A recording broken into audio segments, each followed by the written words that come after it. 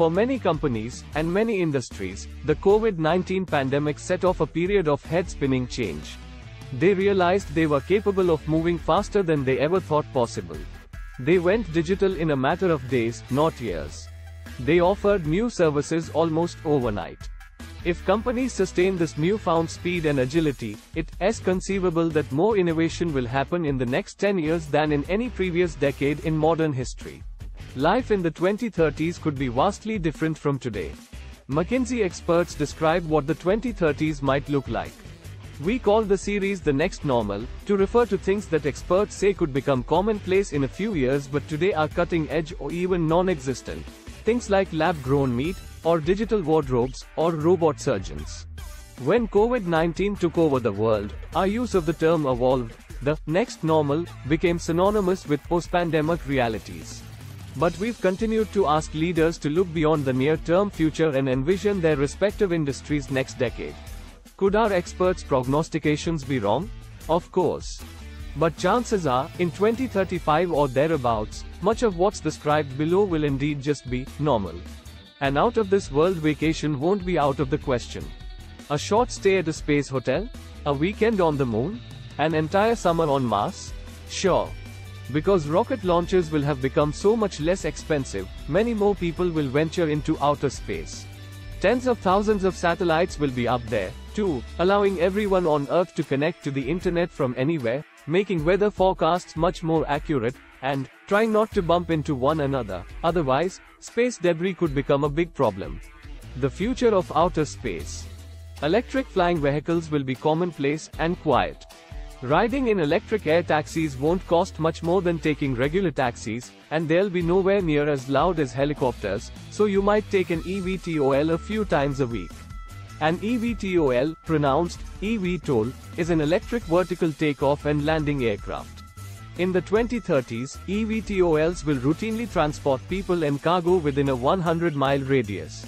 Some EVTOLs will be flown by pilots sitting in the cockpits, Others will fly semi-autonomously, with pilots controlling them from the ground. The future of air mobility.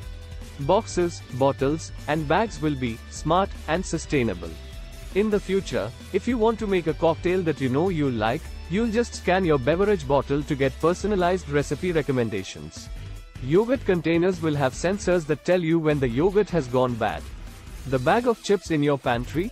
After you eat the chips, you'll either reuse the bag or eat it. It'll be vegetable based and actually pretty tasty. The future of packaging. Drones will deliver your packages. In 2030, an estimated 200 billion packages will be sent out for delivery.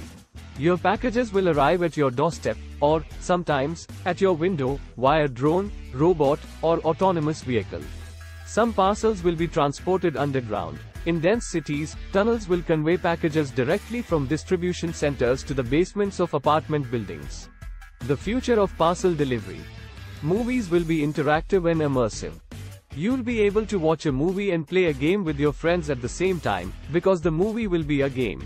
You can enjoy the movie with your friends even if you're at home and they're at a movie theater.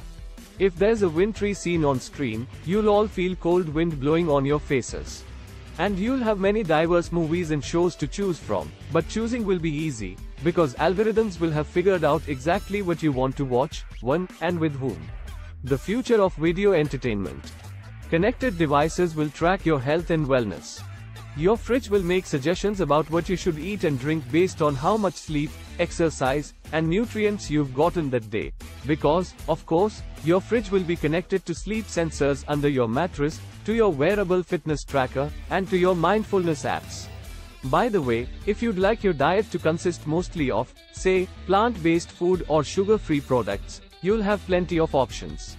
The future of wellness. The high-rise of the future will be a mixed-use building. Apartments might take up 10 floors, offices another 10, and hotel rooms yet another 10. There will be stores, restaurants, gyms, and maybe a rooftop lounge.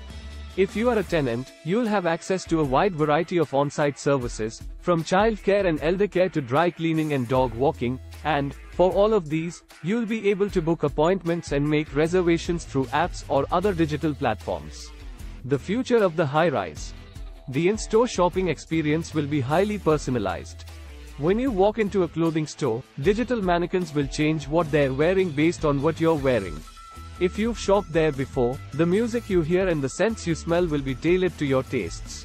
Salespeople at the store can quickly look up your purchase history and shopping preferences using their mobile devices, so they'll be able to make personalized recommendations.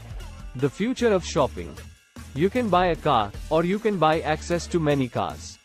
Instead of owning one specific vehicle, you might buy a subscription package that gives you options. A compact car on weekdays, a bigger car for weekend getaways, a convertible in the summer, an SUV for winter trips to the mountains. You'll never have to haggle, each package will have a fixed price. And you won't have to go to the dealership if you don't want to. Through virtual reality, you'll be able to look at as many cars as you want, examine their features, and even test drive them, all while sitting on your living room couch. The future of car buying.